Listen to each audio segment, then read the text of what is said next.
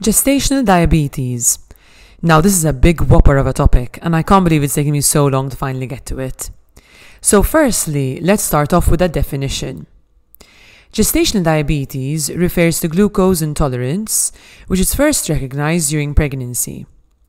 This usually resolves postpartum, but in some cases can persist or be associated with increased risk of type 2 diabetes. So, before we can understand what's going on in gestational diabetes, let's recap a bit on normal glucose metabolism.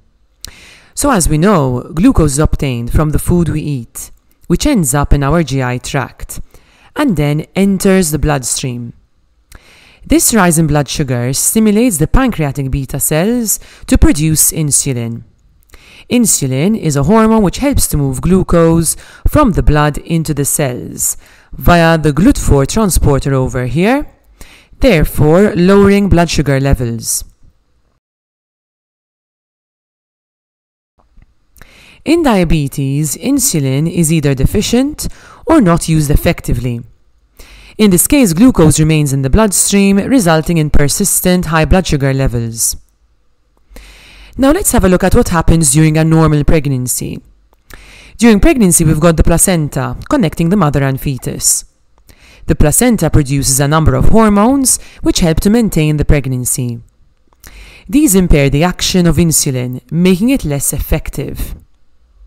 Let's break it down. So during the first trimester, we predominantly have estrogen and progesterone being produced. These actually promote insulin sensitivity, which results in increased maternal energy stores for later pregnancy and can actually result in a mild hypoglycemia. Then, in the second and third trimesters, the placenta produces HPL, human placental lactogen, progesterone, estrogen, cortisol, and the placental variant of growth hormone. HPL is the most predominant hormone affecting glucose metabolism. These hormones cause the mother's cells to become less sensitive to insulin, what we refer to as a physiological insulin resistance.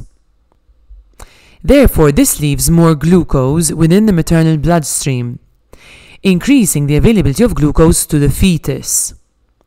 This is why pregnancy is referred to as a diabetogenic state. So to get a bit of a clearer understanding, let's rephrase things slightly. So the placental hormones have an antagonistic effect on insulin. So this means that the hormones prevent some of the insulin from working properly. Therefore, not all of the glucose is taken up by the cells. Now, this is usually compensated for by the mother's pancreas, which works to make more insulin. This happens by increasing the number of beta cells within the pancreas, usually increasing the production of insulin by 2 to 3 times the normal amount. Therefore, preventing hyperglycemia to occur in the mother and preventing excessive glucose getting to the baby.